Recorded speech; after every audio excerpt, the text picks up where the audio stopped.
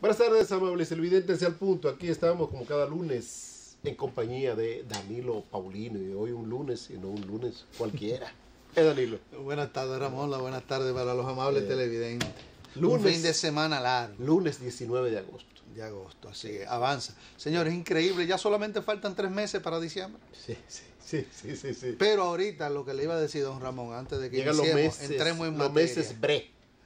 Le comentaba yo a usted que este es el único país, Dios mío. Aquí hay demasiados días en que la gente no hace absolutamente nada. ¿Cómo es posible que uno tenga que durar tres días sin hacer nada en la casa? Estados Unidos de Norteamérica, el único día que para y no para, para entre comillas, es el famoso Día del Pavo. Sí. Pero aquí hay demasiados días festivos, señores. Yo creo que aquí, y usted debería ¿no? No tomar eso como Oye, propuesta sí. cuando usted sea diputado, para que aquí se, se tienda a legislar, más bien se creen normativas que tienden a eliminar un sinnúmero de días que no tienen sentido, que el dominicano y, el- y la dominicana tiendan a, a resguardar esto. ¿Pero y por qué? Bueno, igual también deben verse eh, en este espejo, en este comentario que usted hace breve, los maestros, las maestras del país. Sí. Hoy inicia el año escolar. El año escolar 2019-2020. E inicia ya con la amenaza de protestas de los maestros. ¿eh? No bien ha iniciado y ya están protestando. El jueves se anuncia que se van a movilizar. Se van a movilizar a una marcha de la Máximo Gómez a esquina 27 de febrero hasta la sede principal del Ministerio de Educación. Y oigan cuál es el motivo de la protesta, señora. Algo insólito. Sí, los formadores de formadores, valga la redundancia, ¿eh? Los profesores de la universidad, de las universidades dominicanas, tienen que tener grado de maestría o doctorado, ¿verdad? Los formadores de formadores, como le llamamos. Entonces, los que van a formar ¿eh? los niños, los jóvenes en la educación preuniversitaria, se exige que deben tener el grado de licenciado en educación, pero con sus diferentes, eh, eh, si se quiere, especialidades. Pero ¿qué su sucede? ¿Qué sucede, señores? La mayoría de los egresados universitarios de las diferentes escuelas de pedagogías del país dejan mucho que desear. ¿Por qué? Porque se ha dado una, se ha presentado una avalancha enorme de gente que se ha inscrito en las diferentes escuelas o facultades de pedagogías del país, buscando eh, ser licenciado en educación porque hay un empleo bien remunerado dentro de lo que se, dentro de lo que se llama empleomanía. Un maestro gana entre 40 a 50 mil pesos. Y si tiene ya especialidades, eh, fácilmente puede llegar a 70 mil pesos. Un maestro, cuando en el pasado ganaba 15 mil, 18 mil pesos. Entonces eso ha provocado Pero no lo ponga muy lejos. muchas personas, y no hace tanto que ganaban eso, Sí. eso ha provocado que muchas personas se motiven y vayan a estudiar el magisterio, pero sin tener la vocación de vida y lo que se quieren es al vapor, graduar, porque ya entienden que el hecho de tener un título le garantiza un puesto en el magisterio nacional. Muy bien lo ha hecho ¿eh?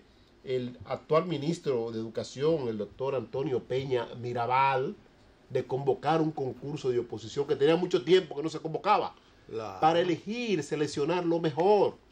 Y la ley manda que se haga eso. Claro, para elegir, seleccionar lo mejor. Que vayan a las aulas para salir de esos maestros obsoletos. ¿eh? Analfabeto también. Analfabetos que no saben transmitir los conocimientos. Quizás tengan los conocimientos, pero no saben transmitirlos. Y que en la prueba de oposición, la gran mayoría ha quedado muy, pero muy por debajo de las expectativas que se quería. Se iban a elegir alrededor de 12 mil maestros, más o menos, en todo el país. Se presentaron cerca de 60 mil a las evaluaciones.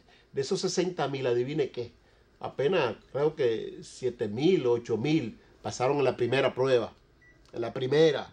La segunda, que es ya de contenido, muchos se quedaron. Contenido, el manejo de la materia que cual usted va a impartir, la mayoría se quedó. Entonces la ADP está diciendo que no se debe medir como se midió, que no se debe evaluar como se evaluó, que el que tenga un 70, 70 puntos debe ser No estoy de acuerdo con eso. Ahí no podemos estar de acuerdo. No nosotros. estoy de acuerdo. Lo mejor debe estar en las aulas. Así Danilo es. Paulino, le cedo el turno de una vez. Gracias. Ramón. Mira, eh, ese tema es un tema bastante espinoso. Sí. Y no sé cómo la señora Guante, que hasta el momento ha demostrado ser una mujer progresista, una mujer que quiere hacer una gran labor al frente de la ADP, está convocando ya para el jueves eh, una protesta frente al Ministerio de Educación. Señores, cuando hoy es que inician las clases formalmente, aunque tienden los dominicanos, los muchachos y Que la muchachas primera que semana van- tienden a ir después de una semana. La Eh. próxima semana, normalmente uno ve- ya uno verá las aulas llenas. Pero eh, en principio, eso ya es por cultura. Cultura, que no dejan, o no dejan, no, los mismos muchachos no se animan a ir a las escuelas. Entonces, este sistema de, evaluación, o más bien eh, esta- eso- esos puntos que hay que acumular para usted pasar esos exámenes, o más bien lo que está exigiendo la ADP, de que con 70 se pase. Señores, a una persona que vaya a educar, no solamente se le debe exigir eh, una licenciatura, por Dios, ya estamos en la edad contemporánea. ¿eh? Vayan a ver ustedes esos sistemas educativos que tienen calidad, por ejemplo, como para no irnos muy lejos, como el de Costa Rica, que es uno de los sistemas educativos más fuertes, y el de Cuba también, ¿eh? entre otros países de aquí de la región. Eso es para no irnos a otros países del continente que tienen una muy buena educación, empezando por los Estados Unidos de Norteamérica, entre otros países suramericanos. ¿Cómo es posible que a una persona ¿eh? que sea licenciado en, tal área se le evalúe y solamente saque un 70 y que con ese 70 esa persona quiere que lo dejen en el cargo? Pero de por Dios, yo entiendo que esa normativa, si establece eso o algún reglamento del Ministerio de Educación, eso hay que subirle, el, el puntaje eso hay que subirlo. Porque una gente que, que de 100 saque 70 no es muy buen estudiante o no es buen estudiante. Entonces, Sacó- necesitamos sacó el mínimo. sacó el mínimo.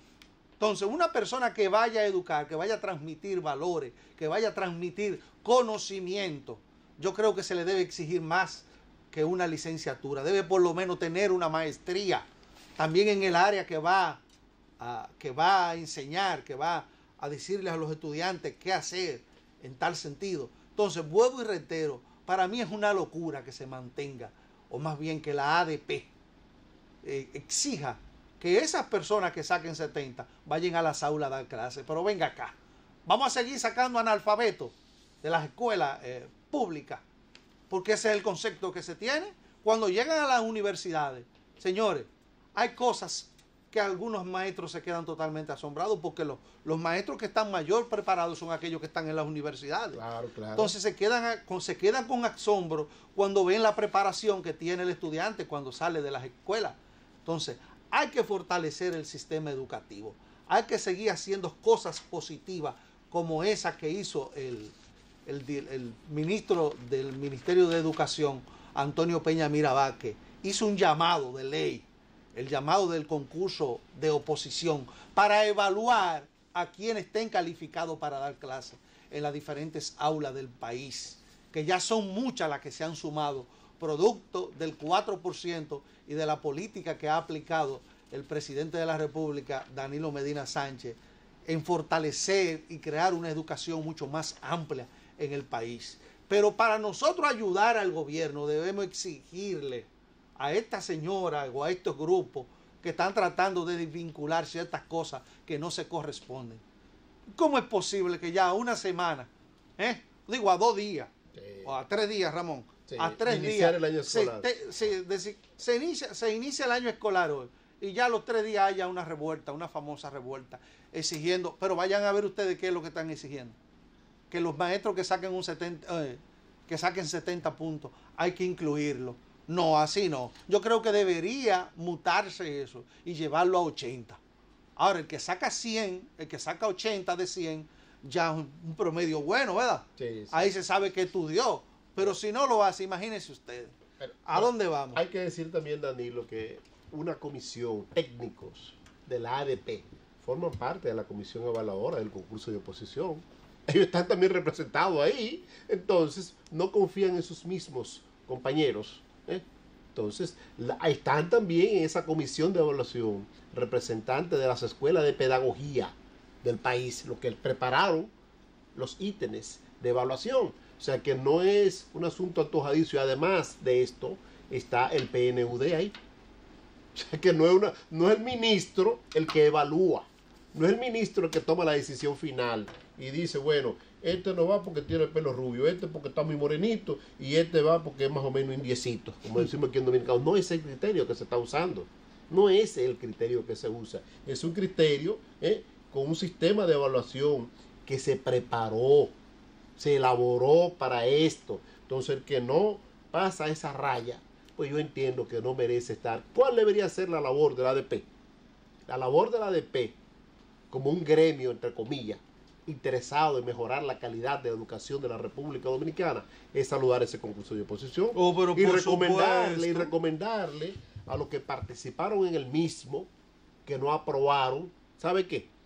Prepárese, compañera, compañero, para el, el próximo concurso de oposición, el año próximo, valga la redundancia. Entonces, sí, coordinar con educación. Y se le da que- la oportunidad a los que se quemaron Claro, de se volver a participar. Se le puede dar, si se- No. porque se preparen mejor, Danilo. Por eso te digo, para buscar más o menos una posición. O sea, y se le sigue media. dando oportunidad de oportunidad de oportunidad Sí. hasta que pasen No, los no, por lo años. menos una segunda vez. Una segunda oportunidad. Eso para mí no tiene sentido Sí. si es así Bueno, que se hace. Pero no, es lo que yo entiendo, lo que yo entiendo que deberían hacer. Entonces, señores, si todos los días están produciendo, no pasa un año sin que se produzcan dos o tres graduaciones de las diferentes universidades del país.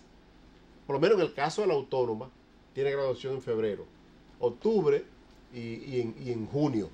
Tiene tres graduaciones. Usted se tiene tres universidad- también, que la- es la segunda es universidad la más segunda grande del universidad, país. tres. Entonces, estamos hablando de que aquí anualmente salen al mercado laboral una cantidad enorme de profesionales y mucho más de las escuelas de pedagogía que tienen el legítimo derecho a ser evaluado igual. Entonces, entonces lo que la ADP debería tomar como vanguardia. ¿Por qué? Porque hay un momento que no hay aquí donde emplear profesores.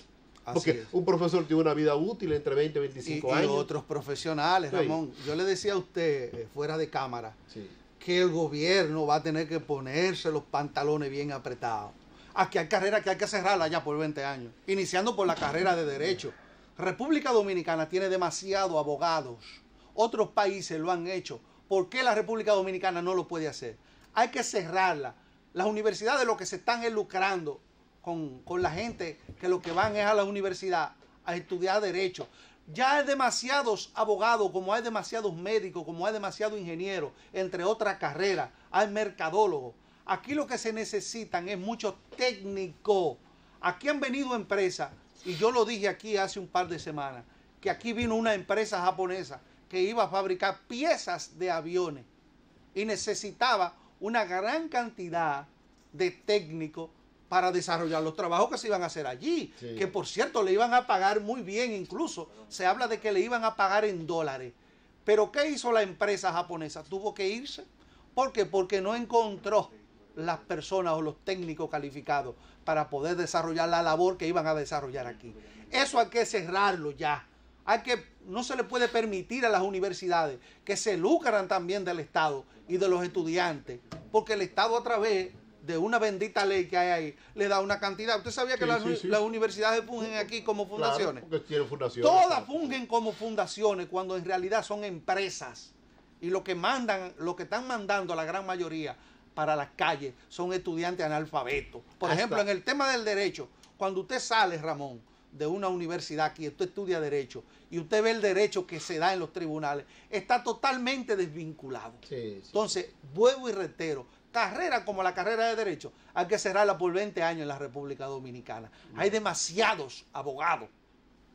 Bueno, vamos a la pausa comercial y en breve regresamos con más el punto.